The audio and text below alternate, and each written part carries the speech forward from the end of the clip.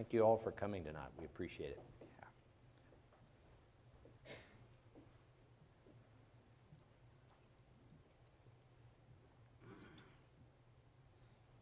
Very nice crowd. Mm-hmm, it's great.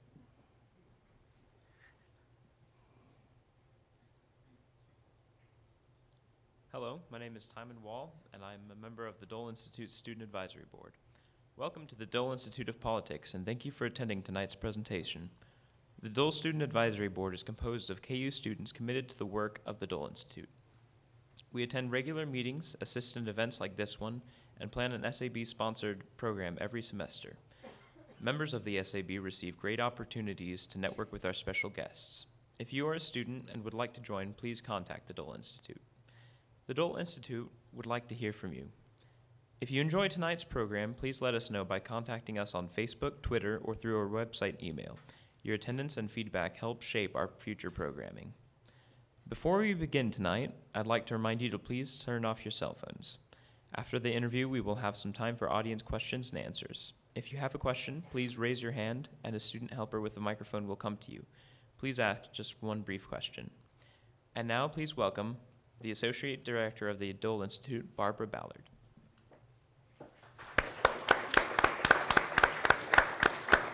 Thank you, Timon. Good evening, and certainly welcome to our 10th anniversary series. I think most of you know that the Dole Institute of Politics is celebrating its 10th anniversary.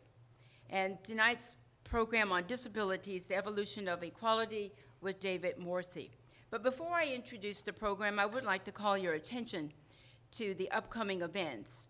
Right now, we're in the middle of KU civic engagement and leadership, and it's an opportunity for our students to be uh, more involved in civic engagement, trying to make a difference in the lives of the community as well as our campus, and that runs through October the 31st. For those of you, I think you know that National Make a Difference Day is October the 26th, so it's recognized all over the United States. Also look at October 27th. It's a program we're very proud of. We give the Dole Leadership Prize, and this year we will be awarding the $25,000 prize to the Nelson Mandela Center of Memory, which is the equivalent of a presidential library. Uh, President Mandela will not be here, but his great-grandson will be speaking and accepting the award on his behalf. And I hope you will find time on the 27th to come out because we all know what President Nelson Mandela went through from apartheid to believing in what should happen in a country and the equality for all. Also, if you'll notice our program on October the 30th, the work of Richard Ben Cramer by Mark Swansker, and I think that will be an excellent program for you as well. The Leavenworth series, for those of you who have not participated in it, but you're very interested in what's going on all around the world, at home and abroad, selected topics on World War II. And I can tell you, we have a great crowd every time we have a new series, and I think you will learn a lot from that. And I will put in a plug for the annual Veterans Gala. For those of you who have never attended it, we have over 250 people that attend every day. We turn the Dole Institute of Politics to a USO style, where you're sitting, part of it becomes the dance floor. The Moonlight Serenade Orchestra is playing World War II type music. They're in World War II uniforms, and it's right here, and all of this happens in all of the Dole Institute of Politics. And you don't have to be a veteran to come, just come to recognize the hard work of the veterans. Now I'd like to introduce our guest this evening. And I think many of you are familiar with him. And you would say, well, he doesn't really need an introduction. Our feeling is everyone needs an introduction, and especially someone who has spent so much of their life trying to make a difference in the lives of people with disabilities. A leader in the nonprofit sector for over a decade, David Morrissey has worked to advance missions of HIV, AIDS, care and prevention, disability, and independent living, and community volunteerism. He has presented internationally on uh, developing disabled people's organizations and transition to adulthood for youth with disabilities. I think we know how important it is that all of us may have something that makes us different, But when we have something that makes us different and people use that against us, that to me is discrimination. And I think we recognize that. And every city, every town, every state can do a much better job in making so much more accessible and recognizing that people with disabilities can do anything that almost anyone else can do, and they have some limitations. But the question I would ask, do we not all have some kind of limitation? As a 2007 Disability Policy Leadership Fellow for the Association of University Centers on Dis Disability, Morrissey went on the Centers for Disease Control and Prevention Expert Working Group on Transition at the National Center on Birth Defects and Developmental Disabilities. In 2010, he served as private sector advisor in the United States delegation in the United States Universal Periodic Review of the U.S. Human Rights Record. He was a member of the inaugural class of the Clinton School of Public Service, where he earned his Master of Public Service degree and conducted service projects in the Arkansas Delta and in Vietnam. I would say for a minute, please think about Senator Bob Dole.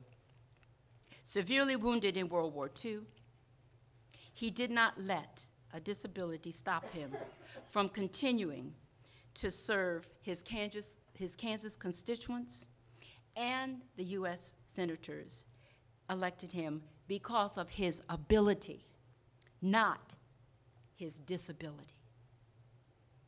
He served, and he served well.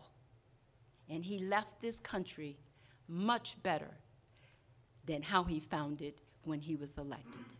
I would ask you all to please welcome David Morrissey this evening give him a warm Jayhawk welcome, and I will turn this program over to the director of the Dole Institute of Politics, Bill Lacey.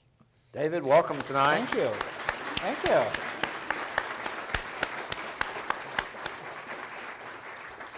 Thank you all for coming out. It's a fabulous crowd tonight, so we really appreciate your support. Uh, David, I think a lot of people in the room probably know you or know a little bit about you, but uh, some people probably don't.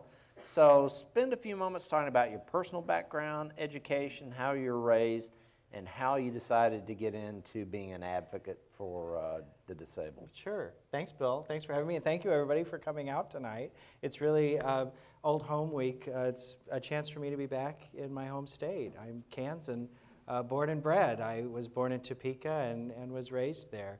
I lived in Lawrence, Kansas for many years of my life, as well as the community of Overbrook, Kansas and uh, worked here in Lawrence for the United Way of Douglas County, uh, for the Douglas County AIDS Project, uh, volunteered and served on the board of Independence Inc., our Center for Independent Living here in the Lawrence community. And so uh, being here, even though it's just for a few days this week, has been a great opportunity to see some old friends and colleagues that really launched me on my career in public service. It was uh, after college that I got into working in the nonprofit sector here in Lawrence, and after uh, probably uh, seven years uh, in uh, different projects, uh, had the opportunity to go to graduate school, and it was the first time in my life that I relocated out of Kansas. And uh, with my partner, Jeff Kirkendall, the two of us bravely left Kansas and moved to Little Rock, Arkansas on uh, the opportunity of the Clinton School of Public Service, uh, a scholarship that ena enabled me to pursue a master's in public service. Uh, during that uh, curriculum was when I spent four months living in uh, Ho Chi Minh City, Saigon, Vietnam, working with disability groups on the ground in the country. And it was that experience that really gave me the bug to work in international disability issues that has me doing this work today. What's one of the more amazing stories or experiences you had when you were in Vietnam or in Arkansas that just that just convinced you that this is the kind of this was going to be your passion for your life? Yeah. Uh, you know, I always, um, having um, a personal experience of having been born with a birth defect, uh, spina bifida, and having um, family members who, in their own work, um, have been so closely involved with the disability community and they, in so many ways, um, aside from my own personal experience, inspired me to uh, pursue a life of service to the disability community. that um, it was in Arkansas that I was working um, with a, a greater focus more in the developmental disability community. And uh, that community is uh, probably still where so much of my heart is. And uh, it was uh, the expertise that I developed in graduate school at, in working in public policy around disability that enabled me to uh, take that next career step and, and move to Washington, D.C. to work on developmental disability policy at the national level. Um, but I think it was these mentors along the way who have devoted their lives um, in service to uh, a community of citizens who are often uh, marginalized, are often um, excluded from full participation, uh, that empowered me or inspired me to uh, want to commit my life to that work. In Vietnam, um, the marginalization of people with disabilities is beyond our friends who have intellectual disabilities. It, it was, um, you know, I saw it more impactful to people with mobility impairments or to the deaf community. And so every country is at their own place now in moving forward to build a society of equality and one that tears down barriers. And Vietnam is at a really uh, exciting place in their own journey uh, toward building that society as well. Okay. What's the mission? You work now for the U.S. International Council on Disabilities. What's the mission of the organization, and what is your role in the organization? I'm the executive director, and our mission is to engage the American disability community with the global disability community. We serve as the United States member in an international organization called Disabled Peoples International, DPI. Every country, I hope one day, will have a DPI uh, community.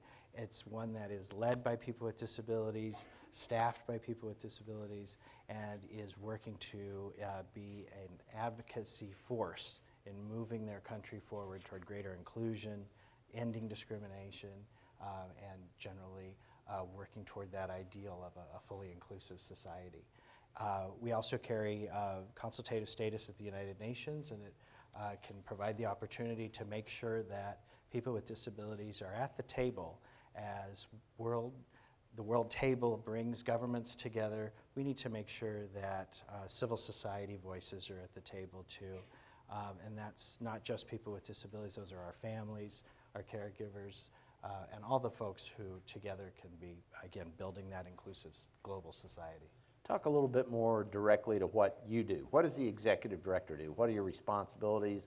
What is, Mm-hmm. you probably don't have an average day, but what does your somewhat average day look like? Um, well, it's interesting because our organization really is, in some ways, a policy shop in, in Washington, and so uh, we have great colleagues who are more uh, focused on on-the-ground development work in countries around the world, and we try to be a resource to help the development sector think more about disability, not programs that are specifically for people with disabilities, but mainstream programs, education, health programs, water programs. How do we make sure that uh, vulnerable populations are not being excluded and left out from these important initiatives? And I think that for you, the American taxpayer, to know that your tax dollars, when they are being spent overseas, are being spent in a way that uplifts people with disabilities and doesn't further marginalize those who are uh, frankly, uh, in many situations, in a, a situation of poverty um, or uh, being denied education. I think that's a concern to us all that the work of our government overseas is, is good work. And so that advocacy that we engage in, there never is a typical day, um, but there's always an opportunity to stand up and to be an advocate. Uh, that's the uh, good stuff of it.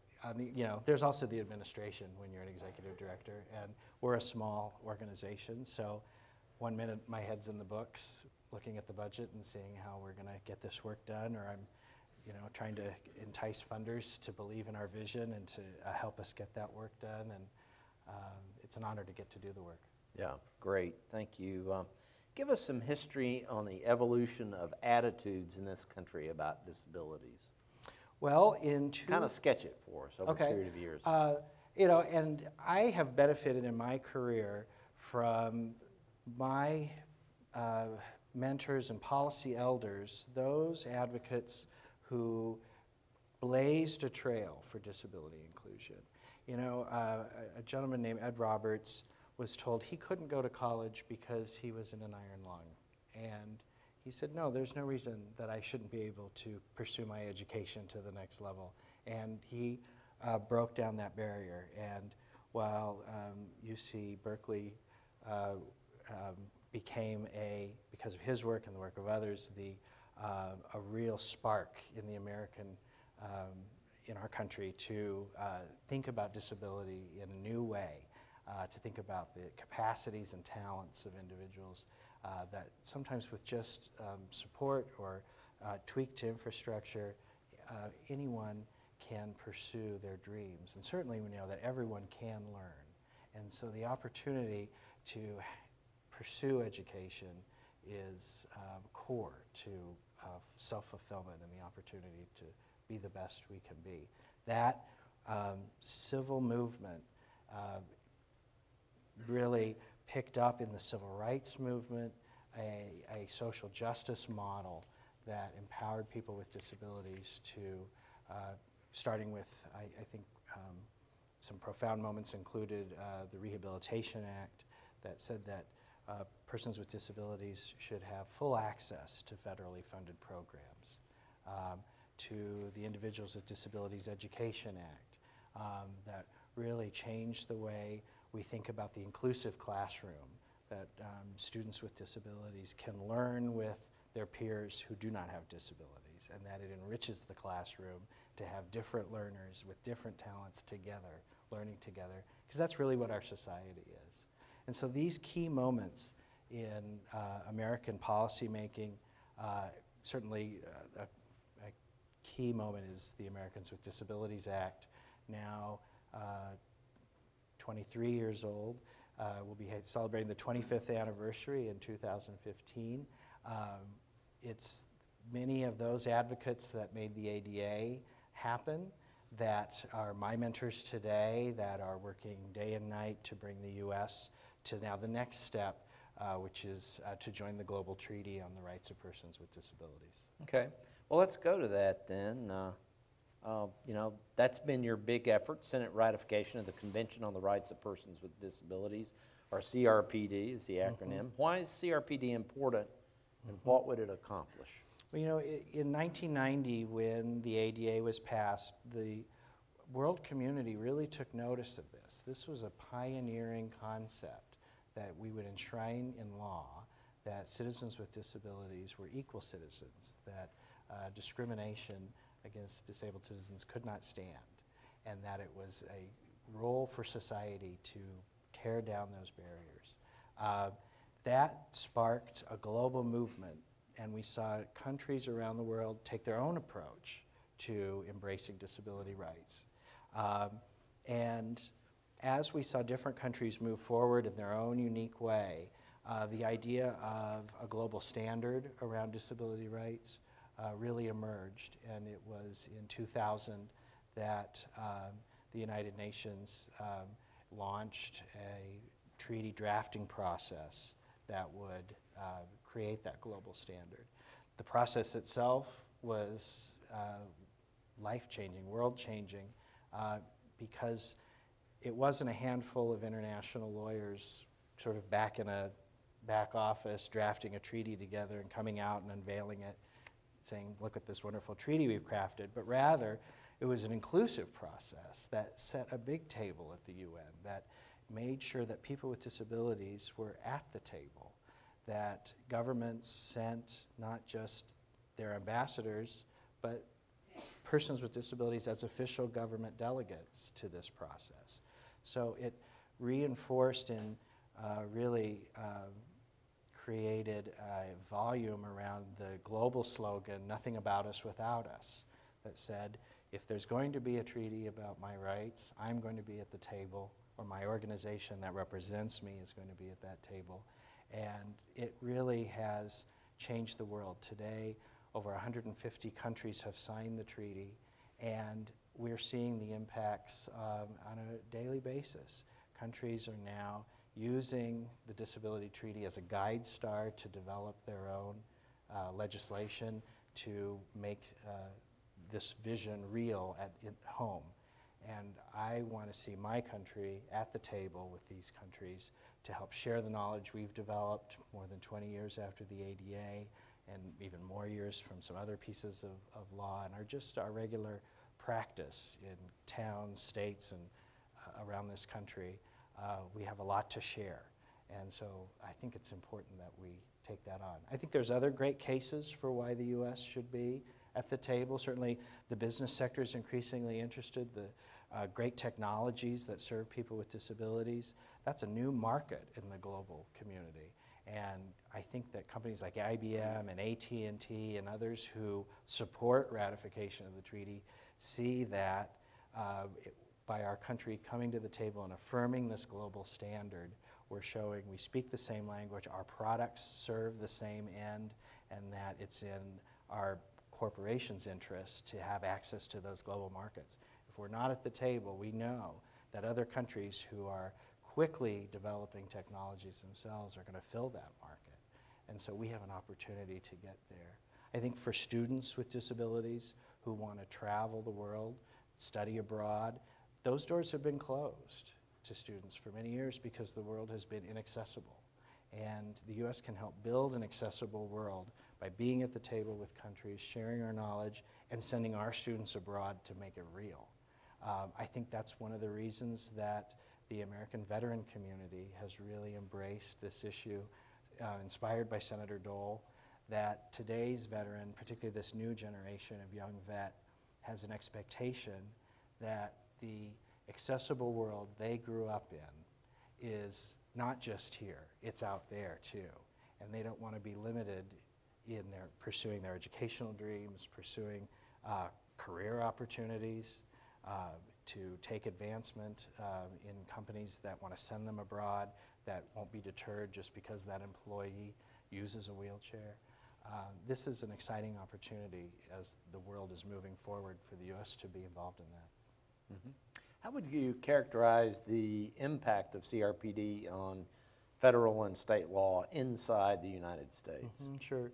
Uh, so uh, I was, I, not just me, I, my brothers and sisters with disabilities around the United States and around the world were so excited when uh, President Obama fulfilled his campaign pledge that we would sign the treaty, and the U.S. became a signatory in 2009. Uh, the president then had his administration uh, do a multi-year study of uh, the treaty, looking at what's the vision of the treaty and where's U.S. law, and is there a gap between the two, and how do we close them in order to come on board as a ratified party. The um, standard U.S. treaty practice is that we don't ratify a treaty unless we're already uh, perceived or deemed in full compliance. And we um, were so pleased last year in 2012, after a three year process, the administration submitted a package to the U.S. Senate where a supermajority vote is required to successfully ratify. Um, and it was a package that required uh, no new costs and no changes to U.S. law. The administration proposed a series of amendments to the treaty called reservations, understandings, and declarations that um, laid out uh, things like our federalist system of government. Uh, some areas of disability are at the state level in terms of laws, they're not federal laws. And when the United States ratifies a treaty, we are making that commitment at the federal level. And if a state is not yet um, fully in the uh, compliance with the treaty, um, the federal government will work with those states to realize uh, the vision of the treaty and, and come into compliance, not the international community interfacing directly with states. Mm-hmm. And so this package that is before the Senate is um, a very sound practice that has followed um, uh, I don't know how many years of standard U.S. treaty practice. It protects our sovereignty. Uh, it doesn't cede our lawmaking authority to foreign governments. Um, it's one in which we are in compliance we will not uh, have new costs leveled as a result. And yet the opportunities that I was just describing to be a world leader on this issue, I think, are significant. Okay. So, and I don't want to put words in your mouth, but as I kind of understand the way you're explaining it, uh, it's not going to really change that much in the U.S., but it puts us at the table and makes us a leader on disabilities around the world. Is that a fair I- think that restatement? the um, opportunity to be influential in the world is a change for Americans with disabilities who, again, want to have that opportunity to be out in the world. Uh, you know, the U.S. is still making the vision of the ADA real here at home. 23 years past the ADA, our employment rates for people with disabilities are still not great. They're twice the unemployment rate for citizens who don't have disabilities. And so we still are evolving ourselves here at home, and we're doing that under our domestic legal framework. Uh, the treaty can become a new tool in advocates' toolkits as we work to advocate for better policies, um, for a more inclusive society, even here at home. It's a real, um, it's a real tool because it's a real vision. But no, it's not going to force uh, those changes. Okay. What happened, uh, the, the treaty's been up for a vote one time. Tell us what happened. So uh, it was last May that that package was submitted to the U.S. Senate. Because this is a treaty, it lands in the uh, Senate Foreign Relations Committee. Last summer, we had uh, a very good hearing in which um, senators from both uh, parties really stood up for this issue, that it was the right thing to do. Um, and it was a robust process that really examined all the issues. Um, so that ultimately the committee was able to pass a resolution for ratification that had bipartisanship, um, that um, then had momentum to move on the Senate. Um, that was uh, in July, uh, just after the anniversary of the Americans with Disabilities Act, that that package passed. It wasn't until December that we had a vote in the Senate. And we got close, but we didn't uh, hit the mark. We missed the supermajority by five votes. And it was immediately after that loss that uh, great figures like John McCain um, and Richard Durbin, um, Tom Harkin, and other members of the Senate said, Don't give up. We can get this done. This is the right thing to do. We're going to bring it back. And so, um, while the loss was disappointing, uh, we have tried to make the most of it by um, certainly we got great media coverage that day. Senator Dole attended the vote with his wife Elizabeth, um, and um, that was that sparked more media than we ever got in the run-up uh, to the vote. Um, it also helped expand uh, the coalition. At the time, our coalition for ratification was about 350 disability organizations. Today, it's over 700 disability organizations from the local, state, and national level. Uh, we had the U.S. Chamber of Commerce on board uh, last year. Now, it's not just uh, the chamber, but it's corporations are saying this is good for our business that we be on board. The veteran community um, has been solid throughout. I, am so pleased we have so many multiple generations standing up for this issue, from uh, the VFW and the American Legion to uh, the Student Veterans of America and the Wounded Warrior Project. Um, and so it's uh, been, uh, it was tough to have that loss, but it's one that has um, steeled us and brought us together. Yeah. Now, critics have argued a point that you made a few minutes ago that it would impinge upon U.S. sovereignty. And they've referred to specific language within the convention that says what's in the convention overrules any U.S. law. But that doesn't concern you. Well, again, I was referring to uh, standard U.S. treaty practice. Um, you know, I think that the treaty itself is uh, following um, standard um, international treaty language, and countries um, do not cede their sovereignty when they make the choice to ratify. They're making a commitment to implement the treaty and make it real at home. And for so many countries around the world, they don't have a history of civil rights legislation like the ADA that now they're ratifying and they're using the treaty as a guide star to develop that. For the U.S., because we have the ADA and other pieces of law, we're already in that uh, piece of, uh, in that posture of being in full compliance. The, um, I, I, think there is a political perspective in the United States that doesn't like international agreements, um, that doesn't like these multilateral treaties or international human rights standards, or frankly, anything that the UN has been a part of. And it may be that no um, safe package will give comfort to uh, that political perspective. I think that it's, um, it's, a, it's a minority perspective. I think there was just a recent poll uh, that great numbers of Americans from both parties, uh, Democrats and Republicans, uh, believe that the U.S. engagement in the UN is the right thing to do, that the UN should be at the table. And this wasn't about the disability treaty, this was about uh, the idea of global engagement and collaboration um, with our neighbors around the world through the UN systems. Uh, but it's important to note that this treaty in no way empowers the UN to take on new roles or have new powers that it didn't have before. It doesn't. Uh, really, this is a treaty that empowers people with disabilities. Uh, it's a treaty that calls on countries to engage their disabled citizens and to bring them the, to the table. Again, that spirit of nothing about us without us. Okay.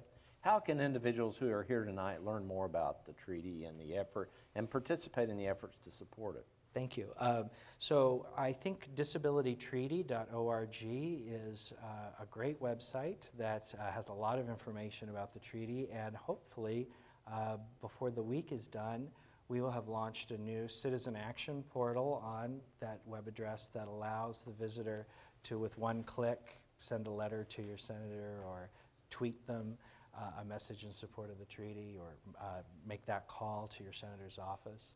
Um, also, on the website, we have a lot of fact sheets and other material about the treaty that states the case. It lays out those questions that uh, our opponents have put in. It answers those questions um, so that I want to see a process in the Senate when we do get moving again, and I think that it's going to happen soon, um, that is uh, a process that shines a lot of light on the fine print so that no one is left scratching their heads about what is the commitment that the U.S. is joining 138 other countries around the world who have made this commitment to ratify um, so that we're all in it together.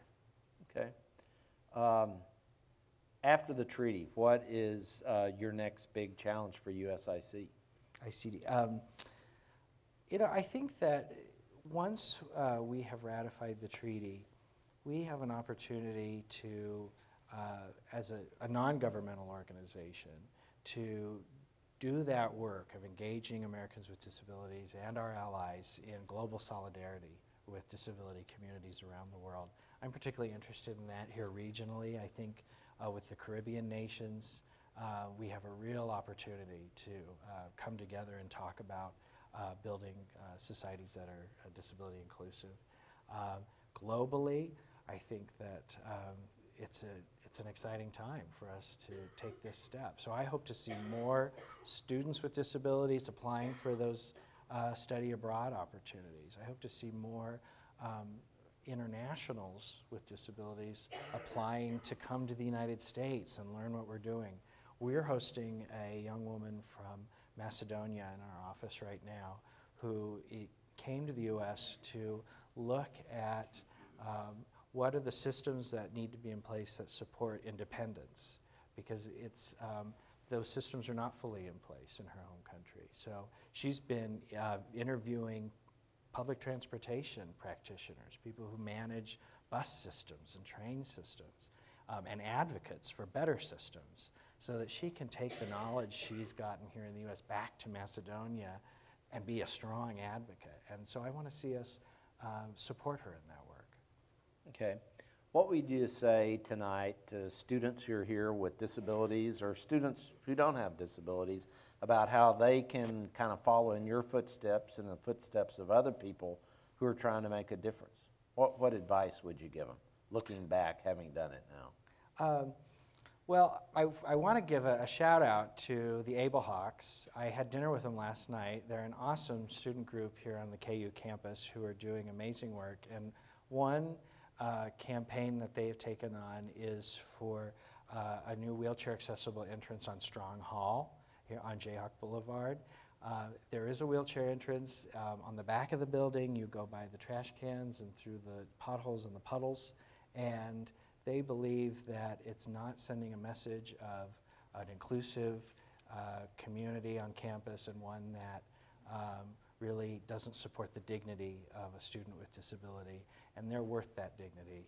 And I want to see them successful in their campaign. So that's an appeal to uh, the administration here at the university who've hosted me in, in such a kind way to listen to the students of Able Hawk. Um, and so I don't know that I need to give them any advice. They're stellar leaders on, on a great uh, path themselves. I, I will say that, you know, as you embark on a career in public service, uh, whether you're working in government or in the non governmental sector, the work is heavy and it can uh, cause a dedicated public servant. I've uh, been not always but great about this to fall out of balance in life. And so it's really important to maintain the, that balance that uh, your home life, uh, your private uh, life, those activities that enrich you, uh, particularly those activities that support your health and independence. Um, you've got to keep an eye that you're uh, keeping those uh, attended to. Yeah, absolutely. Senator, you've had the chance, as you mentioned, to get to know and work with Bob Dole. And his first speech from the Senate floor, many of you probably know this, but a lot of you probably don't. His very first speech from the Senate floor after being elected to the United States Senate in 1968 was on April 14th, 1969, and it was on disabilities. What does that say to you about Bob Dole? Uh, it says to me that he is a vanguard leader, that he didn't let his own, uh, uh, the pain uh, that he experienced in the war, the disability he developed as a result of his injuries, keep him from pursuing his education, from pursuing public service, um, for representing his constituents in a really uh, stellar way, to be uh, a, a, a model statesman. Um, and so it's really been an honor to get to, uh, to know him. You know, he celebrated his 90th birthday uh, this summer, and he is still working with us on the treaty. I think every day he uh, thinks about the treaty. How do we move this forward? Who can I call to uh, encourage them to give it another look, to encourage them to build a bridge uh, across the aisle politically, so that that same bipartisanship that brought the ADA, it can be brought to success for the treaty. Would you encourage young people who probably don't know quite about as much about Senator Dole to, to go back and get to know a little bit more so they understand the level of that commitment? I absolutely would. I have started to uh, do a little of that myself, and um, having grown up with him as my senator, uh, being a Kansan, it's really been um, eye-opening and inspiring. And even just looking around at the displays here in the hall of key moments in his political career, uh, it's it's really exciting to um, have him as a mentor. Yeah, well, I've known the guy for 27 years, and he really is remarkable and uh, uh, very, very good uh, role model. I have one last question, then we're going to open it up to your questions and answers. I'll have a couple of students with cordless mics who will be uh, walking through the audience. If you have a question, raise your hand, be patient. Uh, don't wave at me because I'm not going to pick you out. The students will pick you out, and they'll come to you and then let you uh, ask your question. But uh, my final question uh, tonight, David, is about Senator Dole, and it's, uh, it's a very broad one, but I think you're very qualified to address it. And that is, uh, what will his legacy be on disability issues? Um, in, last summer, when we had the hearing in the Senate Foreign Relations Committee, uh, Senator Dole was not uh, feeling up to attending that day, but it was such a, a pivotal moment in this long march toward moving the treaty forward that um, he wrote a, a statement that he asked John McCain to read to the committee that day. And so I think that just as his uh, maiden speech on the floor of the Senate has become a, a, a historically such an important moment in his career, I hope that this speech before the Senate Foreign Relations Committee has uh, that same uh, inspiration that uh, is part of his legacy. He wrote in there, Um, when we passed the Americans with Disabilities Act in 1990, it was not only one of the proudest moments of my career, it was a remarkable bipartisan achievement that made an impact on millions of Americans. The simple goal was to foster independence and dignity, and its reasonable accommodations enabled Americans with disabilities to contribute more readily to this great country. When I hear his words, I think about a young Bob Dole uh, from Russell, Kansas, and the Russell, Kansas of today, like so much of this great country, is now one that uh, respects persons with disabilities, and his work has contributed to that. That from the smallest town to our greatest cities, uh, barriers are falling, opportunities are being created, and uh, citizens with disabilities are caring for it in uh, a dignity that Bob Dole helped build. Okay, terrific. We have quite a bit of time uh, to get to questions if you have questions tonight. So Alex is over here. Raise your hand, Alex. Amanda's over here. So if you'll raise your hand if you got a question, one of them will find you. Let me know that you got a question, and we'll start right here. All right. Um, I have a question about tying in the Strong Hall event with a more global perspective on disability.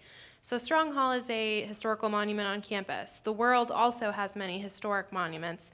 Um, so, how do you balance, or what are your recommendations on balancing that need to preserve these magnificent historical structures, but also preserve the respect for people with that physical disability in order to access those great things? That's a great question. I think that, uh, you know, I'm not an expert on architectural uh, barriers and, and how to uh, do some of the, the finer points of uh, building inclusive environments around us. Um, I know that the um, historical challenge of many buildings is uh, one that we continue to face here. And so I think that approaching the challenge has got to be a collaborative approach. Uh, because I think when we approach it in a, um, with the collaboration, a spirit of collaboration, um, we can win allies and be problem solving together. To, and that's part of the, our international vision, right, is to uh, bring knowledge across borders so we're helping each other build that more accessible society. Uh, I don't think it's a, um, a challenge that's solved easily um, overnight. The, even the, the treaty really is, uh, it's a vision, it's a guide star. How you make it real um, on the ground um, and at the most local place where an individual with a disability is uh, requires, um, you know, a bravery in that individual, allies around them, a community that supports them, and so it's something we all have to be in together. But it, uh, it's definitely um, a work that we have to undertake. It's a roll up your sleeves kind of work. Okay. We got lots of students here, so if you're a student, you want to ask a question, don't be shy. Do we have one over here? Appreciated your discussion tonight, Bill and David. Uh, there are some people, we're so advanced in one sense with the ADA that's been passed. Some people might ask, well, why do we really need to pass the CRPD? If the ADA is kind of a model for the Convention on Rights of People with Disabilities, why do we need to do that all over again? Well, I wouldn't say we're doing it all over again.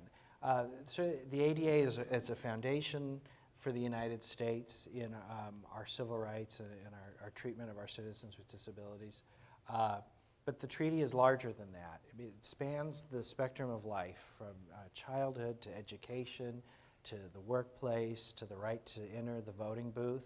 And so um, I think that, again, that opportunity to have a new toolkit in our um, toolbox as advocates to realize the vision of an inclusive society, um, it has value. Our opportunity to um, come to the table with the world community as a ratified party uh, is an opportunity not only for um, the American people, but for our private sector interests, and certainly for um, the U.S. Uh, government. Uh, as a voice on human rights to be able to affirm that the U.S. does stand up for human rights and um, should be at the table um, in the global human rights dialogue is an important opportunity for our country as well. Let me follow up on that real briefly, David, and ask you this. Is the U.S. one of the leading countries on disabilities in the world? Um, I think that uh, different countries are uh, in different places on this. And so we're seeing a lot of innovation in different aspects. Some countries have no history of institutions for their citizens with disabilities. And the vision of the treaty um, is one of independence and community living.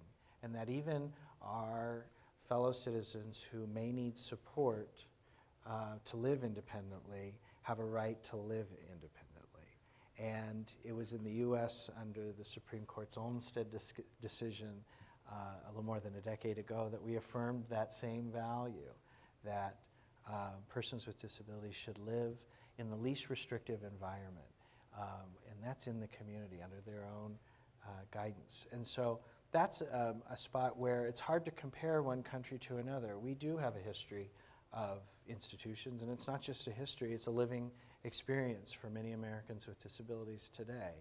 Um, there are other countries around the world that are also grappling uh, with that issue. Um, and so, for countries that haven't had that history, um, I don't want to say that they're better or best, but it's a, it's a problem that they haven't had to deal with. Okay. We have another question. Well, I'll go back to the back to Amanda then. Okay, gotcha.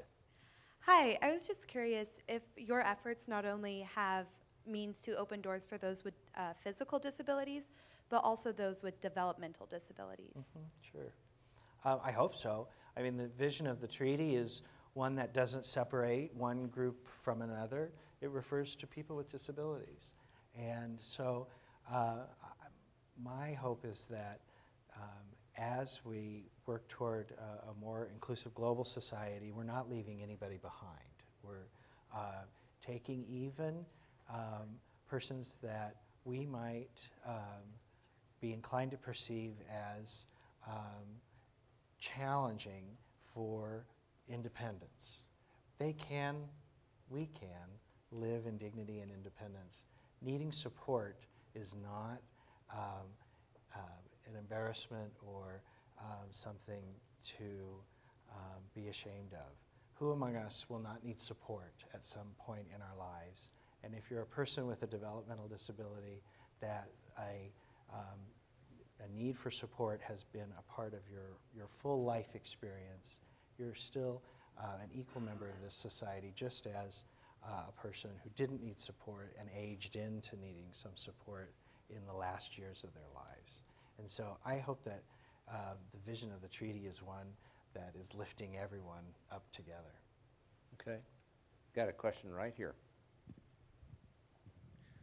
Yes, uh, what can you tell us about uh, our own uh, U.S. Senator's uh, position on the treaty and uh, how we can be more effective in um, responding to some of their concerns? Thank you. Uh, well, uh, it was a disappointment um, to not only me as a Kansan, but I think to Senator Dole and to uh, many Kansans that Senators Roberts and Moran were no votes last December when given the opportunity to vote for the treaty. Um, I hope that by your efforts as advocates, um, you can implore them to give it a second look. Neither senator is seated on the Senate Foreign Relations Committee at this time, so they're going to be watching themselves to see what does the committee do with the treaty? What is the package that the committee passes? When they have a package, they can give it that uh, second look. But if they don't have constituents asking them to take that second look, uh, it could be something that they could just bypass, and that would really be another disappointment. Uh, and so I want to encourage you to visit www.disabilitytreaty.org um, and, and take on that advocacy role, make those calls. Um, certainly when the senators are home, uh, and if they have a, a, town hall in your community, go to it um, and raise the issue, ask them, you know, to give it a second look. And I would even encourage you, if you take that route, um, take people with disabilities with you. Um, and um, really, let's uh, have a frank discussion with our lawmakers about this issue. Okay, we have a question right here. So thank you for this presentation. I'm from Senegal, West Africa, and I'm a person with a disability. Now I want to know I really love that idea of globalization as far as disability issues is concerned. Now, I want to know if you are ready to involve people with disabilities, international stu- people with disabilities who are currently in the United States, in the in your fight in um, in I mean in any decision taking or in your intervention in uh, in, inter, in the international field. If we will what? If you are ready to involve people with disabilities who graduated here in your in your in your intervention in the international field. Uh, Yes, I think that uh, there's a real um, hunger among international development practitioners, particularly, to uh, build their knowledge about disability. And again, that spirit of nothing about us without us, we need uh, professionals uh, who have disabilities to go into this work of international development and foreign policy. Uh, we've created an internship at USICD that uh, empowers uh, students with disabilities who want to work in international affairs or development to come to Washington for a summer and uh, intern in an international development NGO. And not to work on a disability portfolio of projects, but to work on the mainstream body of projects that these organizations are doing, often doing with uh, the support of the US government, um, that is a strategy to bring uh, more disability inclusion into the international development sector. Uh, as I uh, meet international development practitioners, there really is um, sort of a mix of an excitement about this new 21st century era of disability equality and non-discrimination and the idea that development programs should include people with disabilities. But there's also sort of a, uh, a, a perplexity, how do we do it? Um, and so I think that uh, we have the opportunity to solve that for them. And so I encourage you to help solve that. Yeah. Okay, we'll go back here now. David, I want to thank you. I've learned a lot from you tonight. One thing I did want to know from you, David, have you ever worked with Justin Dart, the grandfather of disabilities? And uh, does President Obama have uh, a- an advocate on the President's committee? Okay. I thank you, Kathy Lobb. Kathy is a wonderful self-advocate in the Douglas County community who empowers and educates uh, other people with disabilities to lift their voices. And so I thank you for the work you do, Kathy. Um, I didn't know Justin Dart. I was speaking earlier about having had the benefit of inheriting the work of advocates before me who blazed a trail, and Justin was someone who did. And we have his picture hanging in our office, and I have uh, members of our board of directors who personally did work with Justin, and their voice in this work uh, brings his voice into this work. And uh, regularly, uh, on conference calls or when we're uh, trying to, you know, just even energize each other to carry forward in the work, we uh, will quote him, and that's an honor to, to get to keep his spirit alive. His widow, uh, Yoshiko Dart, uh, lives in the Washington community and is a regular at uh, not only our events but at disability community events um, all the time. So it's a, it's a joy to get to know her and have her um, uh, adding energy to our work. Um, President Obama has um, uh, really uh, a really great team of people with disabilities in his administration in the different agencies. So in the Department of Labor, looking at how do we improve employment rates for people with disabilities. Um, the administration on intellectual and um, developmental disabilities. Um, looking at um, health care and, and the new um, ACA. How does um, this um, new day of um, health care in America include people with disabilities? Um, you know that um, the package has um, uh, the end of uh, the exclusion of pre-existing conditions, something that has been, um, I think, terribly marginalizing for people with disabilities for too long. And so uh, it's exciting that this administration has done it. On the face, or on the issue of foreign relations.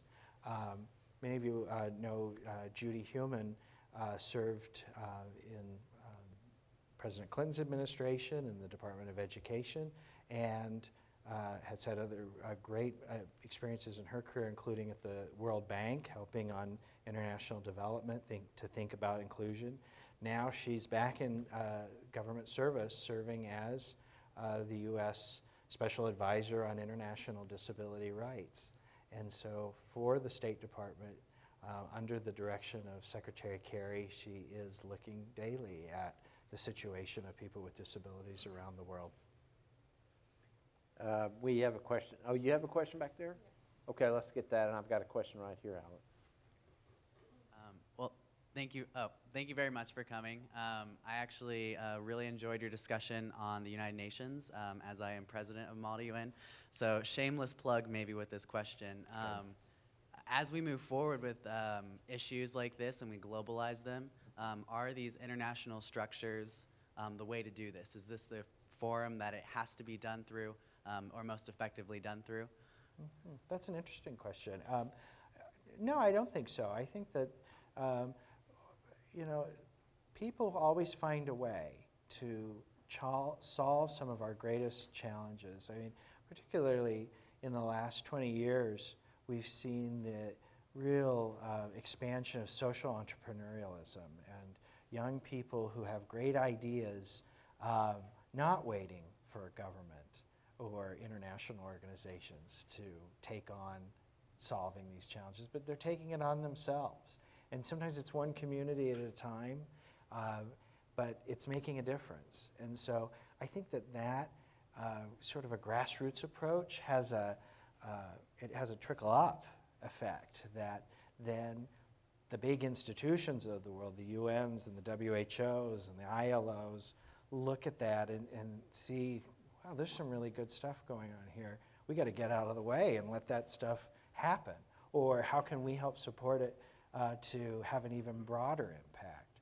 So I think that the, um, these international organizations like the UN can be um, very complex, very bureaucratic, and I wouldn't let a good idea spoil in a line waiting to try to move through those organizations when the private sector can actually push it really very effectively. Okay, we have a question right here, sir. Um, as an organization that links up with uh, disability organizations worldwide, and particularly um, in the global south, how do you account for or talk about um, the global developmental processes that are disabling to many citizens worldwide, uh, particularly um, military conflicts, uh, pollution, uh, toxic waste, and industrialization? Um, those processes which are not necessarily um, talking about inclusion, but rather um, the elimination of some of these harmful practices. Mhm. That's a great question. Um, I, I think that the uh, some of the uh, advocacy efforts for a cleaner environment, for example, for uh, conflict resolution, are some of the most inclusive movements. They, I'm seeing people with disabilities in those movements. And so that's a, an exciting thing. And I think that reflects a younger generation that, particularly here in the United States, grew up in a post IDEA world where going to school and being in an inclusive classroom, the idea that my coworkers or my co-visionaries to pursue um, world change um, is um, one that isn't foreign to them, that we can do this uh, together with people with disabilities at the table. And so um, the um, challenge that uh, uh, pollution or, or armed conflict um, is not just to um, it's to society at large, right? And so people with disabilities are, are vulnerable again. And so um, I think about the organization um, Handicap International that is working in landmine um, eradication around the world. People with uh, disabilities are, are as vulnerable to left behind landmines as their non disabled neighbors. And so um, it's, a, it's an effort to uh, prevent additional disability uh, through this work. Okay, we have a question back here. Um, if a disability-related nonprofit organization wants to register with the ICD, uh, what steps do they need to go through to do that? Thank you. Sure. So, uh, USICD, we're a membership organization. Uh, and again, we represent the American community in, uh, in the global disability community. And so, if you're an individual, you can join USICD, and it's $25 for your membership. Or if you are with a nonprofit organization, you can join, and we have uh, membership levels for nonprofits as well. Um, there's no test to uh, get involved, but I, I'll say we need you. We need to keep growing this um, tent of organizations that care about this issue. I've, since the uh, treaty campaign has really um, become a national campaign, I, have been honored to get to speak to a whole variety of audiences that want to learn more and care about this issue. And so it's really exciting to be building allies uh, beyond disability stakeholders, but um, more broadly. So I encourage folks to come in. Okay, do we have any other questions? It's your chance. Okay, David, oh, yep. Then we got, wait for Mike, we got one right here. Um, I wondered, with your experience internationally, we value independence and individuality so much in the U.S. Mm-hmm. Um, is the will the CRPD be flexible in other nations to support they the way they want to support citizens with disabilities? That's a great question. Yes. Uh, again, the, the treaty is sort of a guide star, and it still allows co- countries to develop in their own culturally relevant way um, to um, one, yes, embrace a global standard about the human rights, dignity of, of persons with disabilities, to end discrimination. Um, I, I, think that there's not a, a middle ground on that. Uh, you're making a commitment as a country to uplift your citizens with disabilities. But uh, the idea of independence, of uh, autonomy, decision making, um, to guide one's own life, uh, there are nuances in different cultures in how we do that, and I don't think that uh, a global standard like the CRPD in any way challenges that. I think it actually supports it. The, um, the treaty mentions uh, how the family is the central unit of society and that it's in the best interest of people with disabilities to have strong families around us, particularly for children with disabilities. So in no way does the treaty, uh, you know, undercut uh, those core human values. Okay, we have a question here. Um, you mentioned that some companies, um, perhaps U.S. companies, had endorsed the disability treaty. Do you happen to know off the top of your head what some of the names of those companies would be? We held a briefing in uh, the Senate in, on Capitol Hill uh, this past June to uh, present the business case for ratification. And some of the country companies who stood up for the treaty that day included IBM, Adobe, AT&T. Uh, I think that uh, we are going to see additional companies soon um, out on a, a sort of a, a, coalition letter of corporate interests all together uh, ascribing themselves to the same statement, and we'll make that available on disabilitytreaty.org very soon. Okay. Any last questions? Okay, David, you're a great advocate. Thank you for joining us Thanks, tonight. Bill. Thank you. Great to have you here. Thank you.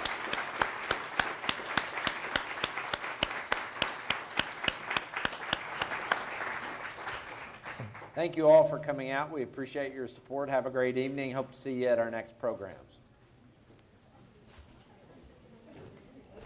Very nice job.